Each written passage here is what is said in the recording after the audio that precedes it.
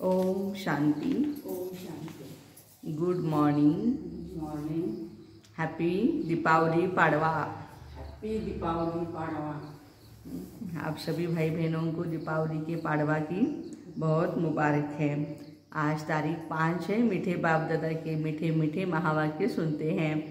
मीठे बच्चे विचार सागर मंथन कर सर्विस की भिन्न भिन्न युक्तियाँ निकालो जिससे सबको बाबा का परिचय मिल जाए। आज बाबा सेवा के लिए मंथन करने के लिए बोल रहे हैं। कैसे सेवा करें? प्रश्न है, बाप हर एक बच्चे को ऊंच तकदीर बनाने की युक्ति कौन सी बताते हैं? उत्तर है, अपनी ऊंच तकदीर बनानी है तो अंदर से सब बुरी आदतें निकाल दो। कौन सी बुरी आदतें हैं? झूठ बोलना गुस्सा करना, यह बहुत खराब आदतें हैं। सर्विस का शौक रखो।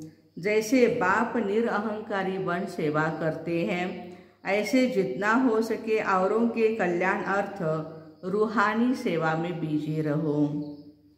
आज का गीत है, मरना तेरी गली में, जीना तेरी गली में। ओम शांति। मीठे मीठे रूहानी बच्चों को पहली पहली यह पॉइंट समझनी और समझानी है, बाप कौन है? बच्चों को अंतीन्द्रिय सुख तब फील होता है, जब निश्चय करते हैं हम बेहद के बाप की संतान हैं। ये जब निश्चय होगा, तभी बाबा के अतीन्द्रिय सुख आएगा। बस एक ही बात से खुशी का पारा चढ़ता है, यह है स्थायी खुशी की पॉइंट ये स्वयं भगवान हमारा बाप है। तुम जानते हो हम अपने को ब्रह्मा, कुमार, कुमारियाँ कहलाते हैं। यह है नई रचना। तो पहले सबको ये निश्चय करना है, हमारा बाप कौन है? यह हमारा बाप है। बाप के नीचे फिर है विष्णु, त्रिमूर्ति के चित्र पर, है ना? बाप से विष्णुपुरी का वर्षा मिलता है। तो कितनी खुशी होनी चाहिए। हाँ त्रिमूर्ति के ऊपर शिव बाबा दिखाते हैं और बिल्कुल शिव बाबा के पॉइंट के नीचे ही विष्णु जी का चित्र आता है। तो बाबा कहते हैं कि ये बाप और बाप से मिलने वाला वर्षा, ये दो बातें याद रहेंगी, तभी भी बहुत बहुत कुछ समझ में आएगा। यह निश्चय करा के फिर लिखाना है लिखाना चाहिए। विष्णु का अर्थ वैष्णव भी निकालते हैं। भारतवासी अच्छी तरह जानते हैं कि यह देवी देवताएँ निर्विकारी थे। स्वर्ग में इन्हों का पवित्र प्रवृत्ति मार्ग था। गाते भी हैं आप संपूर्ण निर्विकारी और हम विकारी।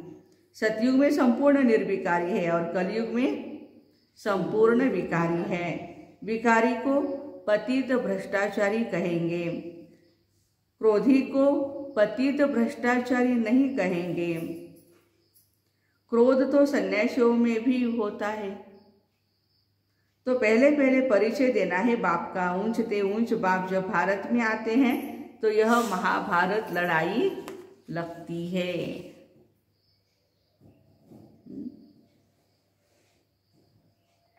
तो ये लगती है ज़रूर क्योंकि परमात्मा आकर पति दुनिया से पावन दुनिया में ले चलते हैं। शरीरों का तो विनाश होगा विनाश होना है। यह निश्चय होना चाहिए। हमको बाप पढ़ाते हैं तो कितना रेगुलर होना चाहिए। यहाँ हॉस्टल नहीं है। सबके लिए, रहने के लिए हॉस्टल नहीं है। हॉस्टल बनाए तो फिर बहुत मकान चाहिए। सात रोज, चार रोज के लिए भी आते हैं। तो भी बहुत मकान चाहिए मधुबन में। भले चार रोज आए, आठ रोज आए, मकान तो अच्छा चाहिए ना। इसलिए बनाया है, बच्चों के लिए बनाया है। बाबा कहते हैं, गृहस्थ व्यवहार में रहते, सिर्फ़ शिव बाबा को याद करो। बस बाबा ही पतित पावन है। बाप कहते हैं, मुझे याद करो तो गारंटी करता हूँ, तुम्हारे सब पाप भस्म हो जाएँगे। पहले पहले तो यह लिखवा लेना चाहिए बरोबर हम शिव बाबा की संतान है। फिर विश्व के मालिक बने के हकदार बनते हैं। राजा रानी प्रजा सब विश्व के मालिक है। मेले प्रदर्शनी में जो भी समझाने वाले हैं उनको बाबा डायरेक्शन देते हैं। मूल बात समझानी है ऊंच ते ऊंच है। एक ही भगवान शिव। वही ज्ञान का सागर है।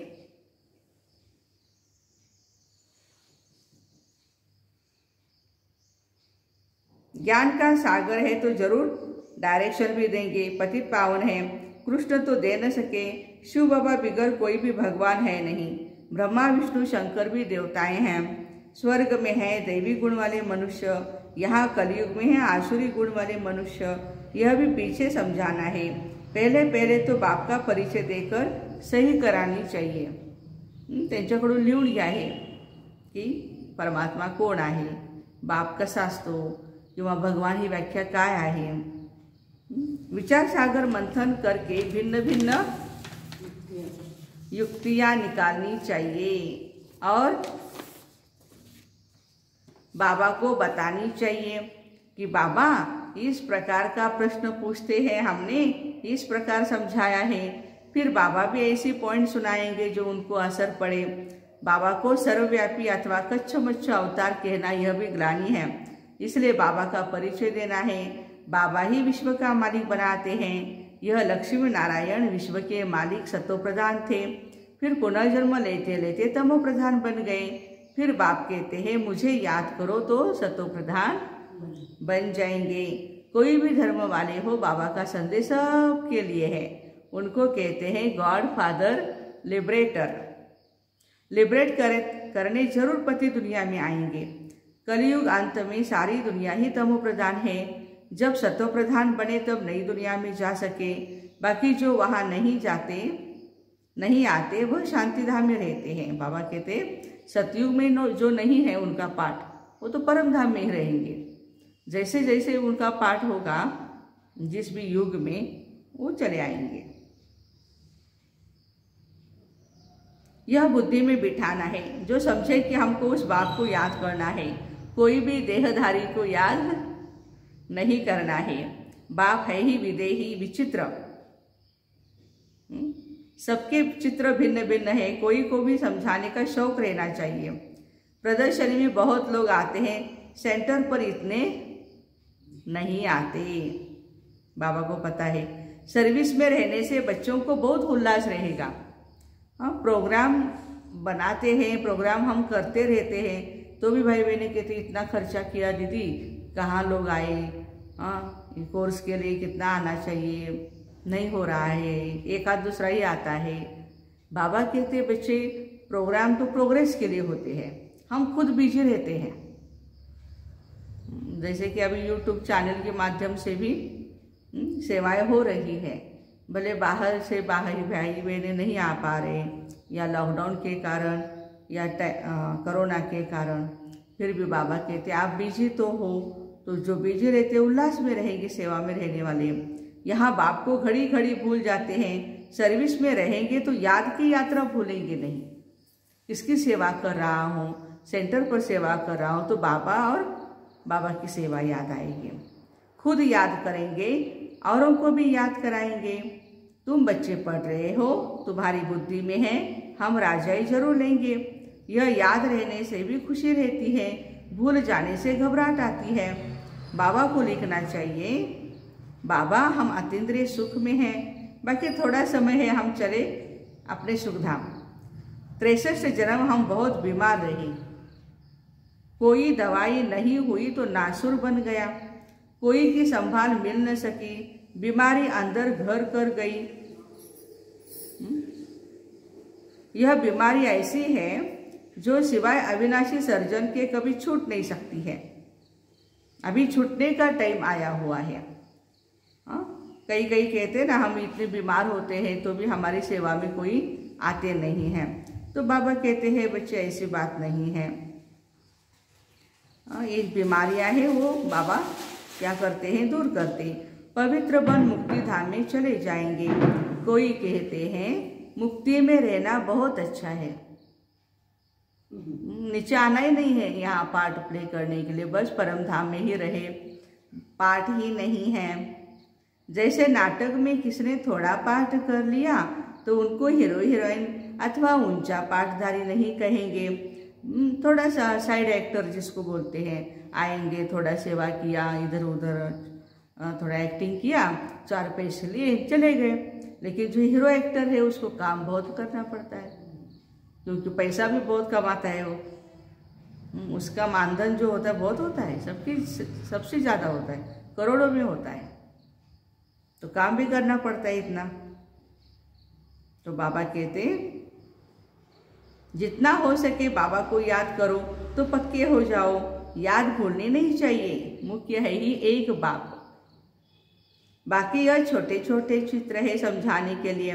इनसे सिद्ध करना है, शिव शंकर एक नहीं है। शिव अलग है, शंकर अलग है। शिव पिता है, शंकर पुत्र है।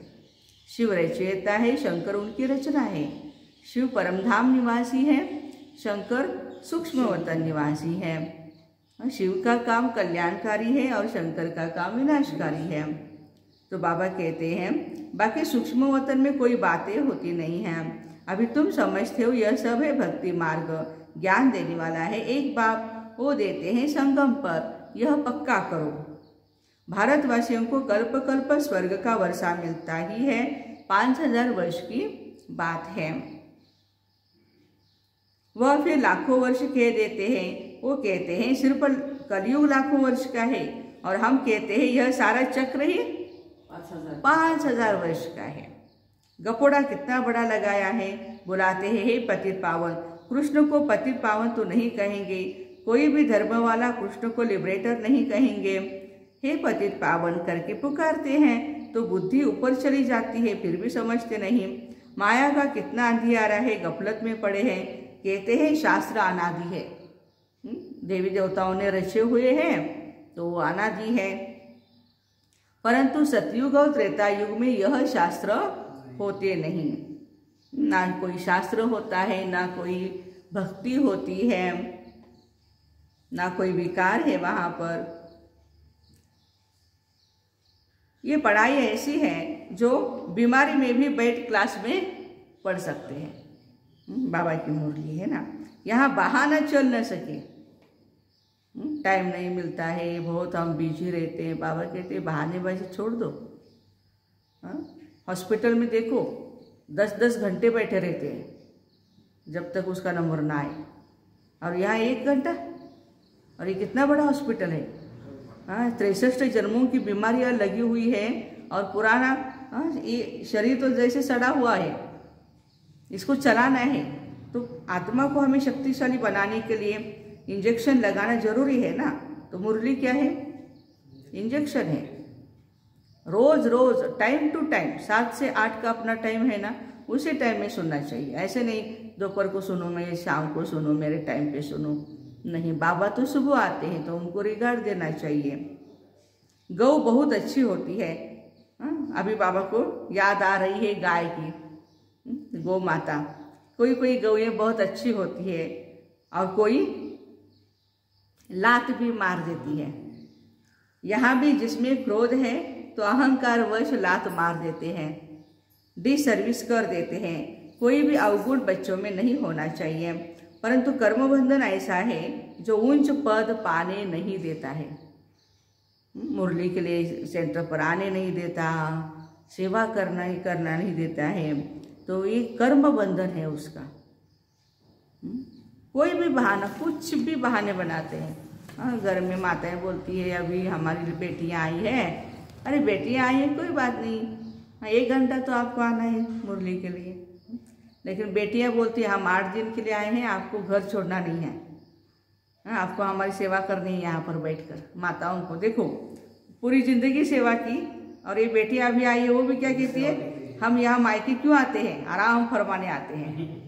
अरे आराम फरमाने आते, बहुत अच्छी बात है, लेकिन अपनी माँ को तो आराम दो। ये बात होनी चाहिए। आप आए हो सेवा के लिए वहाँ ससुर घर में तो सस, ससुराल के वालों की सेवा करती हो और यहाँ माँ की करने में क्या प्रॉब्लम है? गरम गरम रोटी खिलाओ उसको वो भी खुश हो जाएगी मेरी बेटी आ गई। हाँ सब कुछ उल्टा ही है। हाँ वो उसको ही काम में लगाती है कन्याएँ उनकी बेटियाँ। तो बाबा कहते हैं ऐसी बात थोड़ी है। बाप ऊँची तकदीर बनाने का रास्ता बताते हैं परंतु कोई नहीं बनाएँगे तो बाप भी क्या करे? बहुत भारी कमाई है। कमाई का फकुर रहना चाहिए। कमाई नहीं करेंगे तो परिणाम क्या होगा? कल्प कल्प ऐसा ही हाल होगा। बाप तो सबको सावधानी देते हैं किसी की इंसल्ट नहीं करते हैं। हम्म? बच्चों में कोई अच्छी आदत नहीं होनी चाहिए। कौन सी अच्छी आदतें हैं? झूठ बोलना। करना। ऐसे इधर की बात उधर यूँ कर लेते हैं पता ही नहीं चलता हाँ? झूठ बोलना बड़ा खराब है। यज्ञ की सर्विस खुशी से करनी चाहिए। हम्म, ऐसे नहीं भाई दीदी ने बोला है हाँ, अभी तो करने की दिल नहीं है फिर भी कर रहे हैं। नहीं खुशी से करनी चाहिए। बाबा के पास आते हैं तो बाप इशारा करते हैं बच्चे सर्विस करो। जो तुमको खिलाते हैं उनकी सर्विस करनी चाहिए ना। हम्म, सब कुछ भगवान ने दिया हुआ है। बोलते हैं खाली। और भगवान की सेवा के लिए हमें टाइम नहीं है। बहाना देते रहते हैं। बाबा कहते हैं अच्छी बात नहीं है। सेवा करना बाप सिखलाते हैं। देखो ऊँचे थे ऊँचे बाप भी कितनी सेवा करते हैं। हम्म, शिव बाबा की तो कमाल ही है। इतना बड़ा होते हुए भी बच्चों की सेवा में हाजिर है। जो बाबा जो जो भी बच्चे ऑर्डर करते हैं वो सब कुछ बाबा सेवा करते रहते हैं। ये नहीं कहते कि इसके बर्तन में क्यों मांझूं हम्म, इसका झाड़ू में क्यों लगाऊँ। आते हैं बाबा सब कुछ करते हैं। भले हमें हम करते हैं लेकिन शक्ति तो कौन दे रहा है अभी? बाप दादा ही दे रहे हैं वही करा रहे हैं। हज़ार भुजा वाला बाप मेरे साथ है। तो बाबा कहते हैं, जो काम अज्ञान में नहीं किया वह भी करना पड़े। हाँ कई तो माताएँ कहती हैं हाँ हमारे घर में तो बर्तन मांझने वाली, झाड़ू लगाने वाली सब सर्वेंट है, और हम यहाँ क्यों करें? हम नहीं करेंगे। हाँ तो बाबा उनके लिए कहते हैं तो ठीक है भाई, आप नहीं करते, लेकिन ये तो बाबा की सेवा है, आपको प्यार से करनी चाहिए। इतना निरहंकारी बनना है, कायदे के विरुद्ध कोई भी काम नहीं करना है। जितना हो सके औरों के कल्याण अर्थ सब कुछ हाथों हाथों से करना पड़े। हम्म, मैंने खाना खाया तो मैं थाली अपनी धो ना? स्वच्छ करूँ साफ़ करूँ ना मेरी थाली? नहीं नहीं माताएँ है बैठी हैं वो करेगी। ऐसे थोड़ी है। हाँ? खुद के काम हम जितना खुद करेंगे उतना ही रिस्पेक्ट रहेगा। और छोटी छोटी बातों के लिए हम दूसरों को काम में लगाए तो ये अच्छी बात नहीं है। दुआएँ नहीं मिलेगी उनको उनकी। तो खुद के काम करने के लिए बाबा कहते खुद के हाथों से करो, जितना हो सके। लाचारी हालत में कुछ कराए वो अलग बात है। बहुत है, अभी बुढ़ापे में आए हैं, बुढ़ापा है, कुछ नहीं हो पा रहा है। म, भोजन वगैरह बहू को ही बनाना पड़ता है, कोई बात नहीं। बाबा कहते आपसे नहीं हो रहा है, आपके शरीर काम नहीं कर रहा है, कोई बात नहीं। अपने को निरअहंकारी, निर्मोही बनाना पड़े। बाबा की याद बिगड़ किसका कल्याण हो न सके? जितना याद करेंगे, उतना ही फ़ायदा क्या होगा? विकर्म विकर्म विनाश होंगे और में ऊंच पद मिलेगा, बरोबर। और जितना बाबा को याद करेंगे, उतना पावन बनेंगे। याद में ही विघ्न पड़ते हैं। ज्ञान में इतने विघ्न नहीं पड़ते। ज्ञान के तो अनेक पॉइंट्स हैं। बाबा को याद करने से खुशबूदार फूल बनेंगे। कम याद करते हैं तो रतन जोत बनेंगे। ये फूलों की वैरायटी है। अलग अलग फूल हैं। रतन जोत का भी फूल है। अक के भी फूल होते हैं। धोत्र्याचं फूल। काय कामाचं नाही काय कामाचं नाही म्हणून त्याला उचलायचं आणि महादेवावर व्हायचं. आणि अशी फुलंच बाबांनी एकत्र केली? आणि त्या धोत्र्याच्या फुलांना कमळाचं फूल गुलाबाचं फूल हे गुलाब बाबा बनवते. धोत्र्याचं फुल पिंडीवर होतं. हा? पिंडीवर तेच की. काय कामाचं नाही म्हणून उचललं आणि बाबांना घातलं हो. धोत्र्याचीच फुलं सगळी जमा झाली आणि विषारी आहे ना धोत्रा हा विषारी आहे लक्षात घ्या. तसं सगळ्यात विषारी आपणच की? म्हणजे विकारी होतो ना. आता बाबाने आपल्याला निर्विकारी बनवलेलं आहे बनवत आहेत? आता त्या धोत्र्याच्या फुलाला वास पण नाही गंध पण नाही काहीच नाही. तो अपने को खुशबूदार फूल बनाना चाहिए, कोई बदबू नहीं होनी चाहिए। आत्मा को खुशबूदार बनना है इतनी छोटी बिंदी में सारा ज्ञान भरा हुआ है। वंडर है ना? सृष्टि एक ही है, ऊपर व नीचे सृष्टि नहीं है। त्रिमूर्ति का अर्थ भी तुम बच्चे जानते हो। उन्होंने सिर्फ़ नाम रख दिया है, त्रिमूर्ति मार्ग। कोई ब्रह्मा को त्रिमूर्ति कह देते हैं। उनके बायोग्राफी का कुछ भी पता नहीं है। शास्त्रों में श्रेष्ठाचारी मनुष्यों की जीवन कहानी है। लक्ष्मी नारायण, राधे कृष्ण आदि तो है सब मनुष्य, परंतु औरों की जीवन कहानी को कोई शास्त्र नहीं कहा जाता है। देवताओं की जीवन कहानी को शास्त्र कहा जाता है। बाकी शिव बाबा की जीवन कहानी कहाँ है, वो तो है निराकार। खुद कहते हैं, मैं तो पतित पावन हूँ, मुझे सब फादर के बुलाते हैं। मैं आकर स्वर्ग की स्थापना करता हूँ। भारत पाँच हज़ार वर्ष पहले स्वर्ग था, अब फिर बनना है। कितना सहज है। परंतु पत्थर बुद्धि है ऐसे जो खुलता ही नहीं ताला। हम्म, ताला खुलता ही नहीं है। ज्ञान और योग का ताला बंद। कहते हैं घर घर में पैगाम हो पैगाम दो। बाप क्या कहते हैं? घर घर में पैगाम दो। ऊंचते ऊँचे बाप। फ़र्स्ट फ्लोर मूल वतन। फिर सेकंड फ्लोर सूक्ष्म वतन और ये थर्ड फ्लोर है। हम्म, इसलिए शायद सब थर्ड क्लास बन गए। तो अभी इसको फ़र्स्ट क्लास बनाना है हमें। थर्ड फ्लोर है ये साकारी दुनिया। अगर ये, इन फ्लोर्स की भी बच्चों को याद रहे ना तो भी पहले बाबा ज़रूर याद आएगा। हम्म? और यहाँ भी, अभी ताशगांव में हमने देखा, ये तीन मंजिल है हमारे बाबा की बिल्डिंग हाँ मूल वतन, सूक्ष्म वतन और ये स्थूल वतन। हाँ तीनों ही वतन में घूमते रहते हैं। हम्म?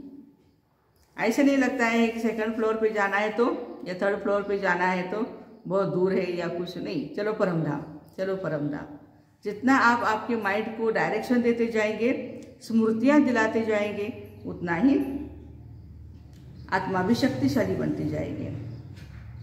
तो बाबा कहते सर्विस के लिए भागना चाहिए। बाबा कहाँ भी जाने की मना नहीं करते हैं। भले शादी में जाओ, तीर्थों पर जाओ, सर्विस करने जाओ। कहाँ भी जाओ, सेवा करो। भाषण करो बोलो एक ही रूहानी यात्रा है। हम्म, एक है रूहानी यात्रा और दूसरी है जिस्मानी यात्रा। पॉइंट्स तो बहुत मिलती रहती है। वानप्रस्थियों के झुंड में जाकर सर्विस करो।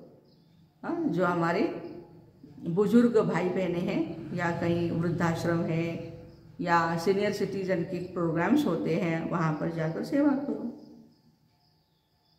उनका भी सुनो वो लोग क्या कहते हैं? हाथ में पर्चा हो, मुख्य चार पाँच बातें उसमें लिखी हुई हो, ईश्वर सर्वव्यापी नहीं है। गीता का भगवान श्री कृष्ण नहीं है। यह साफ़ लिख दो। जो कोई पढ़े तो समझे, ये तो सच है। इसमें बड़ी चतुराई चाहिए। बाबा त्रिमूर्ति के लिए भी समझाते हैं, यह घड़ी घड़ी पॉकेट में निकाल देखते रहो। कोई को भी समझाओ, यह बाबा, यह वर्षा। विष्णु का चित्र भी अच्छा है। ट्रेन में भी सर्विस कर सकते हो। हम्म, ट्रेन में तो सब बहुत लोग मिलते हैं। हम्म, सेवा करने वाला ही चाहिए। बाबा को याद करो तो विश्व के मालिक बन जाएँगे। सर्विस बहुत हो सकती है परंतु कोई को अक्कल आता ही नहीं। हा? बहुत पुरुषार्थ करना है। लड़ाई में लड़ाई के मैदान में सुस्त थोड़े ही होना चाहिए। हम्म? बहुत खबरदारी रखनी है। मंदिरों में बहुत सर्विस हो सकती है। अभी लॉकडाउन के बाद अभी नवरात्रि में मंदिर खुले हैं। बाबा कहते हैं, सेवा करो। बस बाबा कहते मन मना भव, तमो प्रधान से सतो प्रधान बनो। मुख्य बात पक्की करा देनी चाहिए। बच्चों को सर्विस का बहुत ख्याल होना चाहिए। हाँ अभी तो कैसे हाँ चारों ओर सेवाएँ हो रही है, देख रहे हैं। मुख्य बात पक्की करा देनी चाहिए। त्रिमूर्ति के चित्र में सारा ज्ञान भरा हुआ है, सीढ़ी भी अच्छी है, चौरासी जन्मों की। हर एक अपनी उन्नति चाहते हैं, धन कमाने की। छोटे बच्चों को भी युक्तियाँ सिखलाओ, सब ऑफरिंग देंगे। और छोटे छोटे बच्चे जब ज्ञान सुनाते हैं तो कितना मज़ा आता है। खुश होते हैं सब ना? कमाल है। ब्रह्मा कुमार कुमारियों की छोटे बच्चे भी इतना ज्ञान देते हैं, जो कोई सन्यासी आदि दे नहीं सकते। मुफ़्त में चीज़ मिलेगी तो समझेंगे, यह हमारे कल्याण के लिए देते हैं। बोलो हाँ यह फ्री है। आप बल पढ़ो, इनसे अपना कल्याण करो। शिव बाबा भोला भंडारी है ना? शिव बाबा भोला भंडारी है ना? ढेर बच्चे हैं। बाबा को पैसे की क्या दरकार है? यह है बाबा लेकर जाते हैं ऊपर। कभी देखा है? इतना माउंट आबू में आते हैं भगवान। हाँ, बच्चों से मिलन मनाते हैं। छः घंटा आठ घंटा दस घंटा फिर चले जाते हैं। लेकिन क्या पैसा लेकर के जाते हैं? और क्या ज़रूरत पड़ी है उनको? ज्ञान देकर हाँ। ज्ञान देकर ही जाते हैं। ज्ञान धन दे करके जाते हैं। हम्म? यहाँ का भारत का पैसा अमेरिका में नहीं चलता है। अमेरिका का पैसा इधर नहीं चलता है। कन्वर्ट करना पड़ता है बाबा का ज्ञान सब दुनिया में चलता है हम्म। तो बाबा कहते बाबा को पैसे की क्या दरकार है? ट्रेन में भी तुम बहुत सर्विस कर सकते हो। आदमी अच्छा देखा तो झट उनको समझाई चित्र दे देना चाहिए। कहो तुम अपना भी कल्याण करो और औरों का भी कल्याण करना। हम्म, मुझे याद है हम भी ट्रेन से जा रहे थे मधुबन और करीबन तीस चालीस हमारे मुस्लिम भाई बहने ट्रेन में बैठे थे उस बुगी में। तो बस समझाते समझाते बाबा का अल्लाह का ज्ञान सुनाते सुनाते इतने खुश हो गए वो। और जब मैं रात को तो हम रेस्ट लेते हैं और मॉर्निंग को उठी तो मैंने देखा कि मेरे सर के पास कुरान रखी हुई थी। और वो लोग कब उतर गए थे, मुझे पता नहीं चला। लेकिन कुरान की बुक वो ले माना वहाँ पे रख गए। खुश हो गए, माना अल्लाह का ज्ञान सुन के। अभी अल्लाह खुदा, भगवान, परवरदिगार परमात्मा तो एक ही है। और वही हमें ज्ञान सुनाते हैं तो बाबा जैसा ज्ञान कोई नहीं सुना सकता है। सब धर्मों वाले खुश होते हैं, लेकिन सुनना तो चाहिए। अपनी अहंकार जो है, वो बाजू रख करके, क्या सुना रहे भगवान? ये तो सुनना चाहिए हर एक को। अच्छा मीठे मीठे शिकिलदे बच्चों प्रति माता पिता बाप दादा का याद, प्यार और गुड मॉर्निंग। रूहानी बाप की रूहानी बच्चों को नमस्ते। हम रूहानी बच्चों की रूहानी माता पिता बाप दादा को याद, प्यार, गुड मॉर्निंग और नमस्ते। वाह बाबा वाह शुक्रिया बाबा शुक्रिया। धारणा के लिए मुख्य सार है, पहली पॉइंट कोई भी काम कायदे के विरुद्ध नहीं करना है। बहुत बहुत निरअहंकारी निर्मोही रहना है। जितना हो सके हर कार्य अपने हाथों से करना है। और भोजन भी देखो हमारी माताएँ खुद बनाती तो कितनी शक्ति बनती हो। कोई माताएँ होती है हम्म, बस बाहर का खाएँगी या होटल का खाएगी या इधर उधर का तो इसमें ताकत नहीं होती है।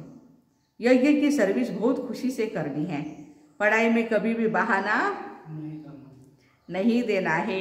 बीमारी में भी पढ़ना ज़रूर है। उल्लास में रहने के लिए सर्विस का शौक रखना है।